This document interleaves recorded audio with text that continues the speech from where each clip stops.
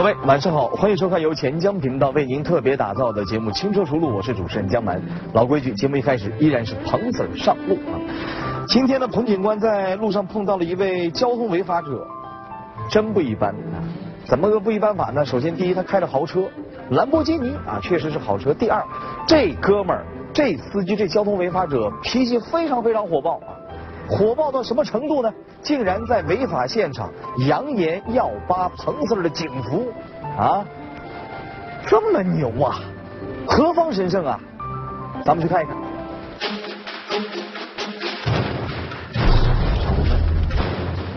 现在已经是晚上十二点多了，彭 Sir 呢在路上发现了一辆没有悬挂车牌的车子，而且还闯了红灯。走近一看，居然还是一辆兰博基尼。只见这辆绿色的兰博基尼方向一转，停在了逆向车道上。为什么停在哎，我说，这位驾驶员兄弟，你不会是酒驾了吧？你把那个证件拿出来。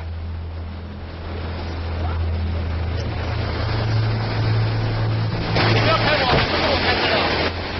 那谁开的？那么刚才谁开的？刚才谁开的？我开的。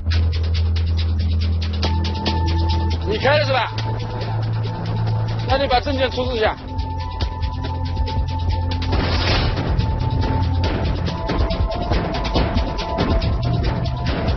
那你能不能过来一下？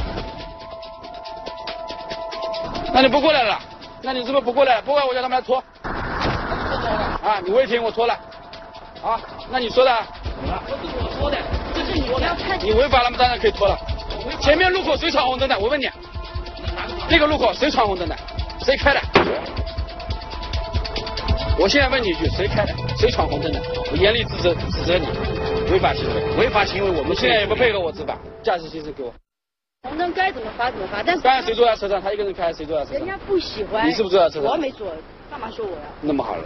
人家出晚上出了，晚上有不想让人知道，你这样开是不是是不是影响到人？那彤彤你好，你把你驾驶证、行驶证我再说一遍，你拿出来啊。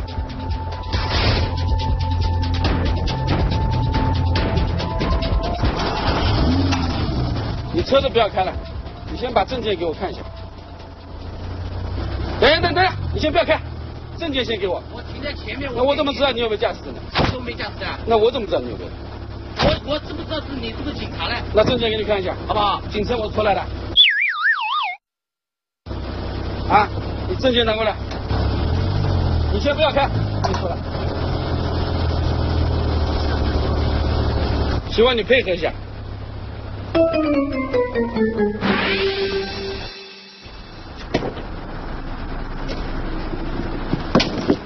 当心当心啊！你自己拖走吧，好吧？你先把证件给我你。车子拖走好了，我们见他。拖走好了你，先把证件给我。车子拖走好了证。件，现在我是怀疑你无证驾驶了。我无证驾驶怎么办？我有证驾驶怎么不是开了？办我问你，我怀疑你证件给我你看。怀疑我，你车子拖走你。证件给我看。你不要拍我了，我告诉你，好吧？来，不拍我可以跟他说，那你先把证件给我。好了，不要拍了，先把证件给我？？哎，行行行。机器你不要拍了，我再告诉你一遍。啊，差不多了，好不好？差不多了。你也差不多了，我告诉你，差不多了。警服都把你裹在，警服都把你裹在，警服都把你裹在，你敢敢？你敢？我敢，我敢，我敢。那你先把证件给我。你把关掉，现在先不放把全部全部给我撤除掉。撤除你没这个权利的，你有什么权利呢？对不对？撤除你没这个权利啊，，你有什么权利呢？对不对？现在是公共社会，撤除你有什么权利？我们你们没车子偷来的，你有什么权利了？哎你不要推我你不要推我，你不要推我你不要推我，你不要推我。从现在开始，你别碰到我，你不要碰到我，你也别碰到我你，别碰到我，你也别碰到我。你先不要碰到我。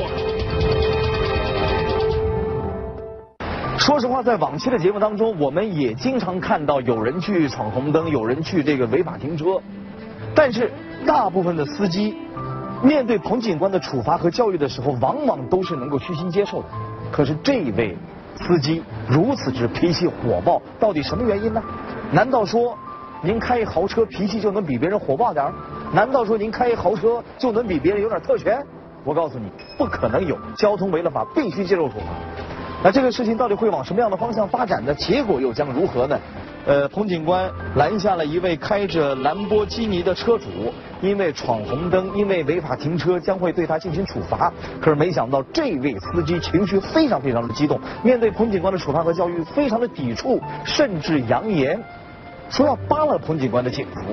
哎呀，那接下来这个事情会如何发展？彭警官又将如何面对和应对呢？咱们接着来看。等大家冷静了之后，兰博基尼的驾驶员悄悄地跟彭 Sir 说出了实情。前面之所以会这么激动，其实呢是因为下次我没带，下次我没带，下次我没带。哦，说了半天，原来是因为自己的行驶证和驾驶证都没有带，所以才会这么紧张。哎，我说大哥，本来事情很简单，结果这东一拉西一扯，反而搞得如此之复杂。回头想想，也真是醉了。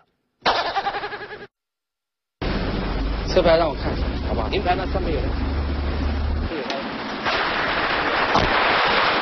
这房车牌照呀，这个你时间没到呀，还没寄过来牌照是吧？因为我们这个二手车刚刚刚买，刚刚收过来的。他，刚刚收过来的，转过来的。对，我坐汽车的。